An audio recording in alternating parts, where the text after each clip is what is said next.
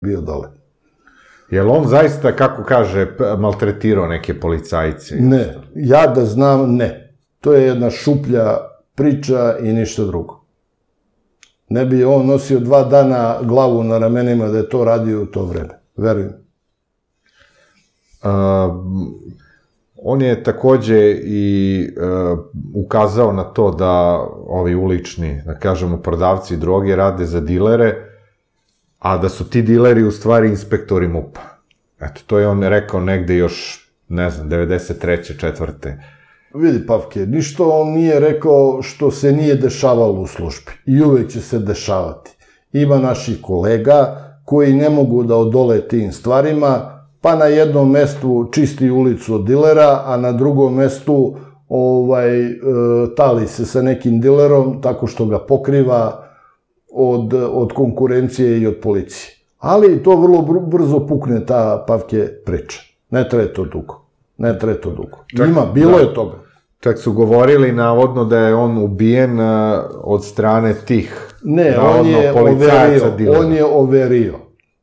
On je overio i ništa drugo. Znači nije to, to je ne, zbog on tih tableta overio. kojima je hteo da neutrališe on kokain. On je overio čovek i, i zdrav prijatelj. Kakav Romeo Savić, čovek bi smešan ko pozorište bio. A Bane Grebenarević, Ma, to je ništa.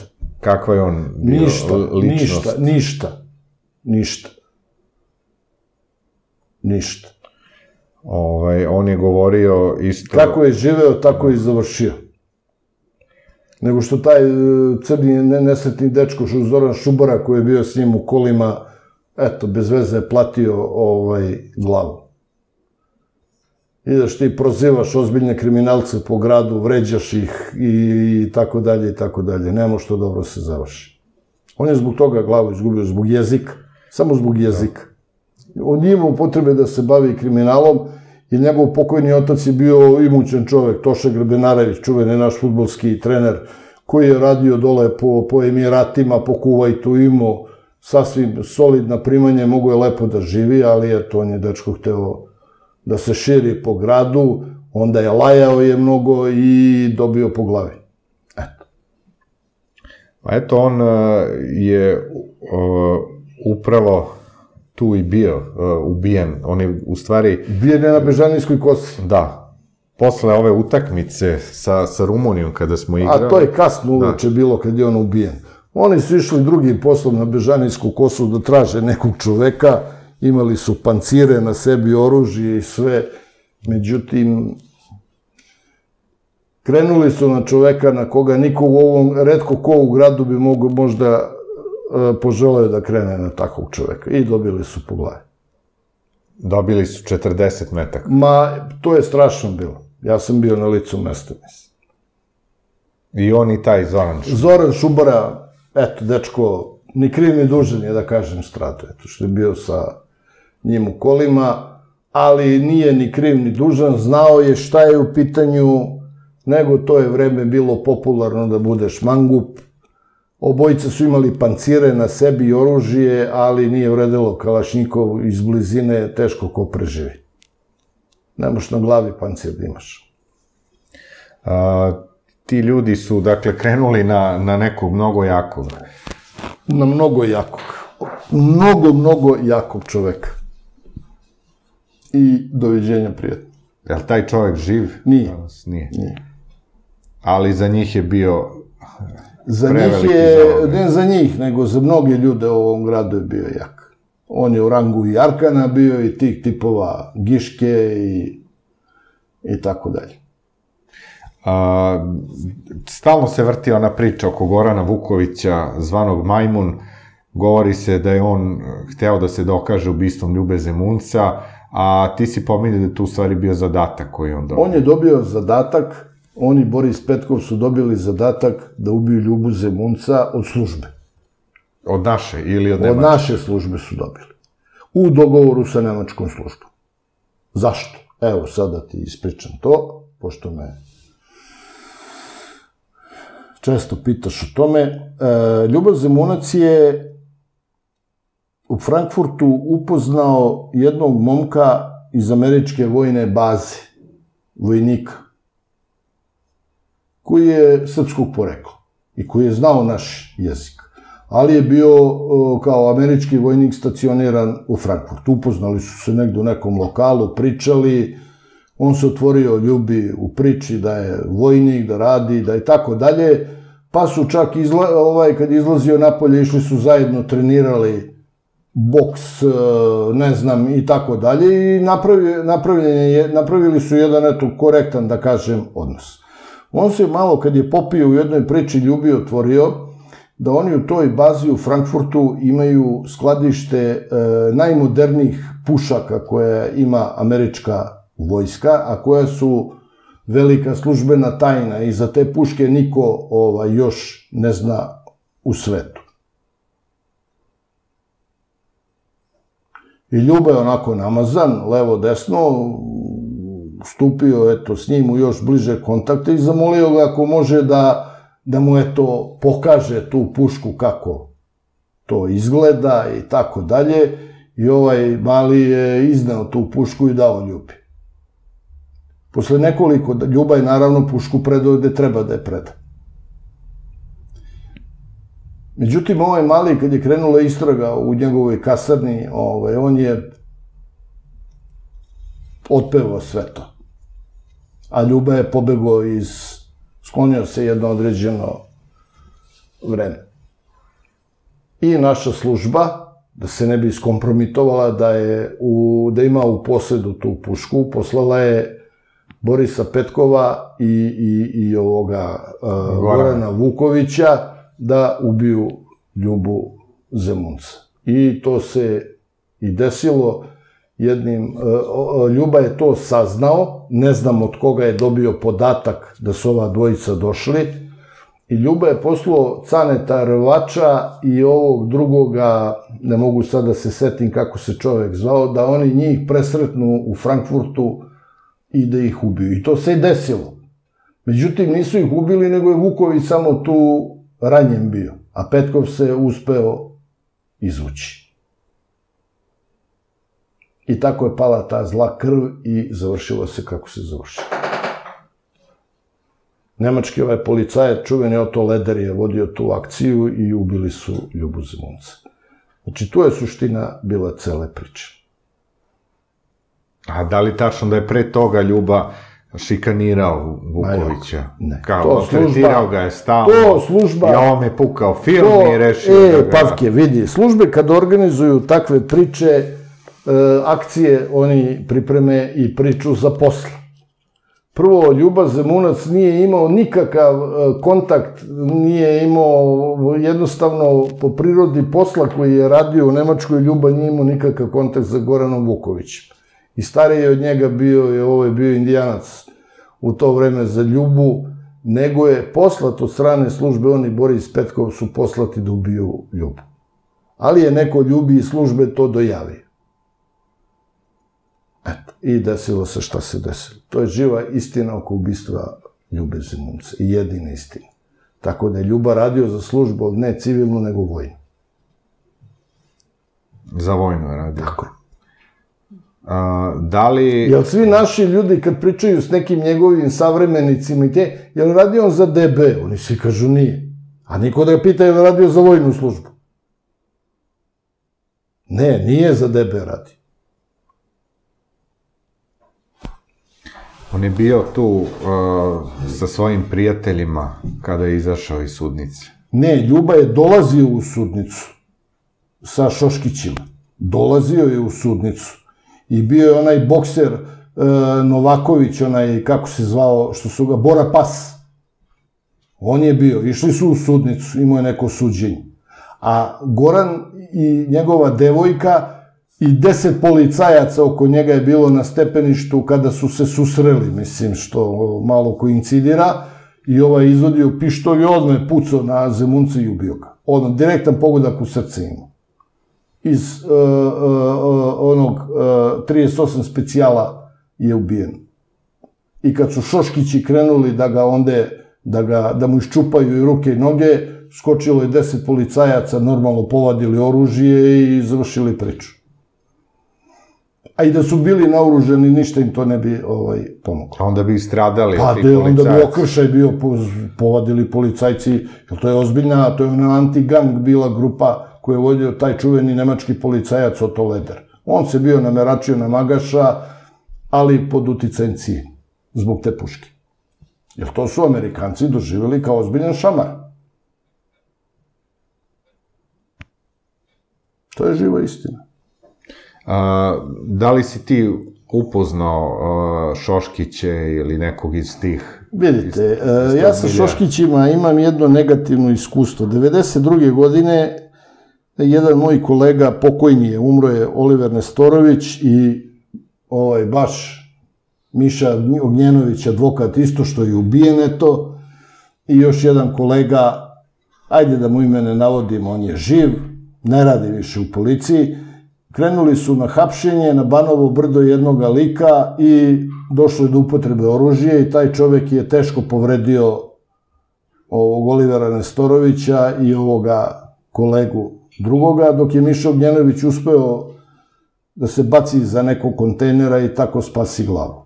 Taj lik e, koji je izvršio to krivično delo pokušaja ubistva policajaca, pobegao je kod Šoškića u železnik i oni su ga prebacili u, u, u Češku. Iako su znali šta je uradio. A gde je taj čovek? Izašao je na slobodi, evo, živi u Beogradu.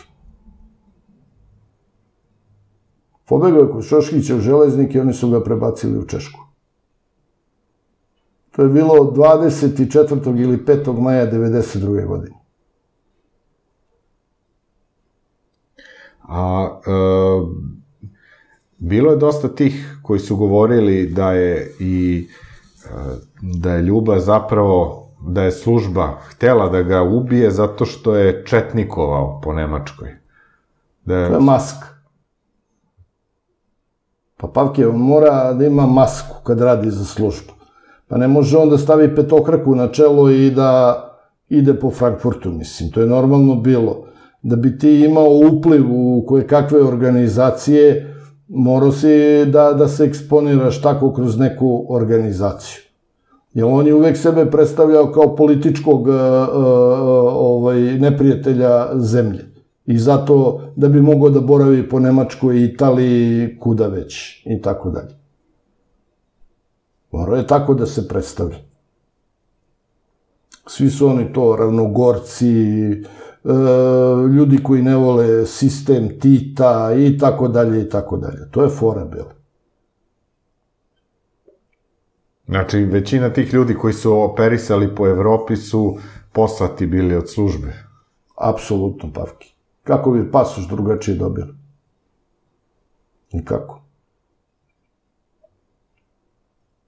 Drugo, oni su imali dobru logističku podršku od naše službe.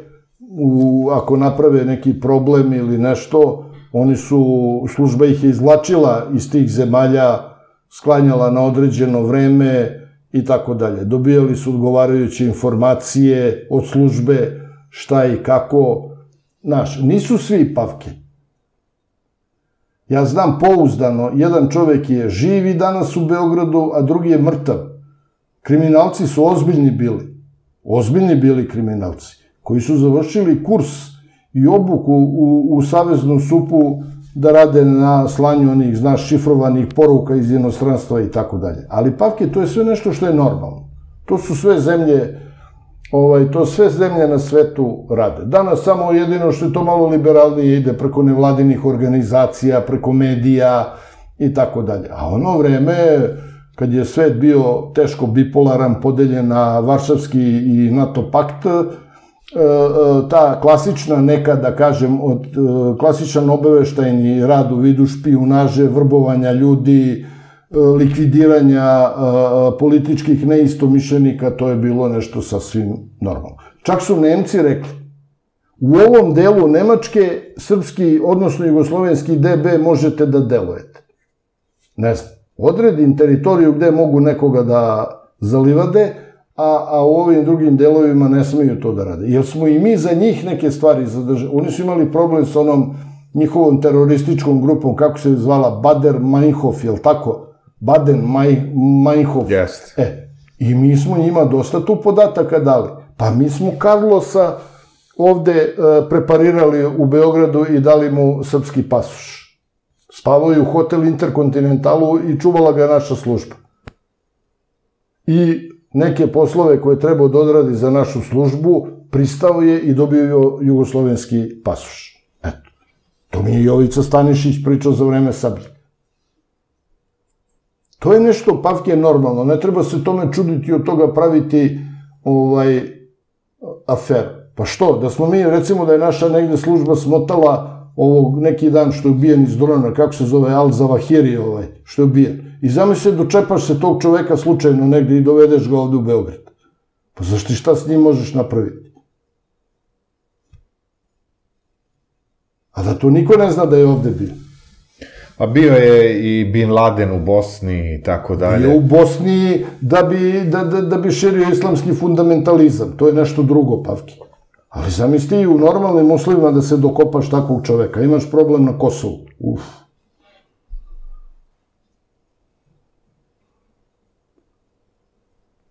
Dobro, ali dosta ljudi iz Bosne i Hercegovine je e, zapravo među onima koji su e, koji se navode u priči o tom 11. septembru u Americi. Ima mnogo ljudi, imaju i dan danas mesta gde oni žive, tamo gde policija uopšte ne ulazi, imaš u Sanđaku.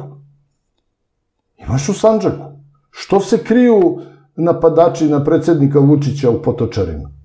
Pa zato što ih je 50% bilo iz Sanđaka. E, zato se kriju. Naši državljani, znači, su ga napali, bili u Potočarima. Šta će cvet majke, majke iz Srebrnice u Novom pazaru? Pa si čuo izjavu neki dan onog sina od Zukorlića. Nas interesuje samo Sanđak i doviđenja prijatno. Pa ne živi, nije Sanđak na mesecu, nego u Republici Srbiji. To su ti onaj cirkus sa, sa toksikološkim nalazima oko muftije. Treba deset zemalja da radi toksikološki nalaz. Kakav je to način? Dole je problem strašan, ljudi. Pitanje dana kada će dole se zapali stvar. Pitanje. Zato je Erdoganu ništa ne veruje. Ništa. A e, ovo što se desilo e, bivšem ministru Rasimu Ljajiću, jel može tu neka zavera da se Pa vidite, kaže... možemo, mi nemamo zvanično, nigde nije objavljeno pod kojim okolnostima je došlo do prevrtanja tih kola. Mi još, ja barem nigde zvanično nisam čuo. Ja pratim informativne emisije. Iskreno rečeno, ovo smeće od naših dnevnih novina koji izlazi, ja to ne čitam. I kako se zove, e, pratim informativne emisije svih televizija naših. Nigde nije zvanično saopštenje bilo pod kojim okolnostima je Rasim Ljajić stradao. Stvarno ne znam. Da li zbog prevelike brzine, da li je vozač zaspao, da li ovo, nemamo. Nemamo ništa od toga. A da je dole problem postoji, veliki postoji. Veliki problem postoji. Ja ti kažem da dole sad kad bi se, e, oni traže autonomnu oblast i oni će gurati tu priču.